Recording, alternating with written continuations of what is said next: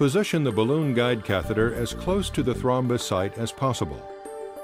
Connect a rotating hemostatic valve, or RHV, to the fitting of the guide catheter, and then connect the continuous flush.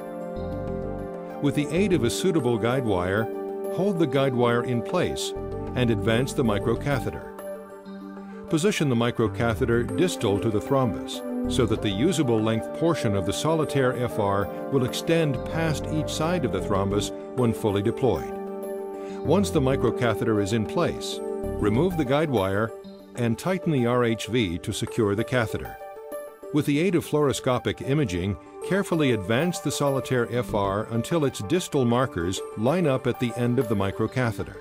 To deploy the solitaire FR, loosen the RHV. Then carefully withdraw the microcatheter while holding the solitaire FR in place until the microcatheter tip covers only the proximal marker of the device. The usable length of the deployed solitaire FR should extend past each side of the thrombus.